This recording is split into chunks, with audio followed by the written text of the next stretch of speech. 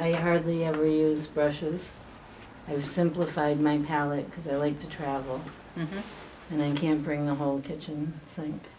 So what are you using? know, you don't use a brush? I use a real Yeah. simple thing. I do carry brushes with me in case I ever get inspired to use a fan brush Yeah. or something, or a fine, Yeah. see the fine hairs? Yeah.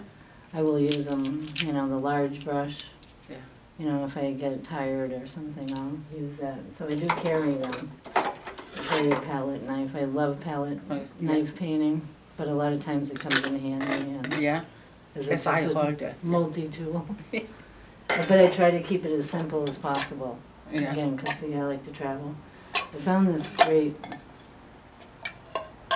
shot glass. It has two slots. Yeah. It works out really well.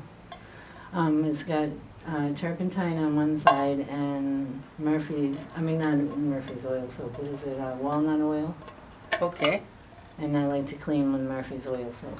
So when you So it's very simple, okay. you know, I don't have to carry a lot. I only basically need these colors.